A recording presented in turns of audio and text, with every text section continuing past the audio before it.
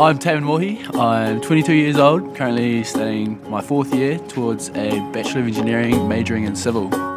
Normally I won't sort of get to uni until about nine, so normally get out of bed, set the alarm for about just after eight, and then finally roll out of bed about 20 past, get up and make some breakfast, maybe make some semis for lunch, and then um, just walk to uni, just a quick walk to go to the engineering block, and then classes, usually about four classes a day, and then just sort of try and stick around for another couple of hours and get some work done.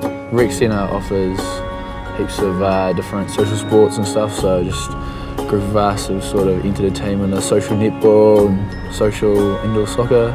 Play for the University Rugby Club, the University Vipers. Yeah, I started them in first year, played under 19 and started playing in the seniors last year. Ah, it's good fun, good club to be with. The field's uh, right across the road from the uni. Yeah, it's real convenient, nice and close. Just living it up at the start of the start of the semester at the moment. Everyone in the flat has a red card to pull at one time during the year. So you pull a red card and everyone in the flat has to drink and you get to make up what they have to drink and like if they have to dress up, make a night out of it really. Everyone's pretty keen to get social and mingle around and meet new people. One of the reasons why I came here instead of other places was just because Canterbury had a good rep for being a prestigious engineering school. My Canterbury degree is pretty valuable. It's gonna, yeah, hopefully help me get a good job.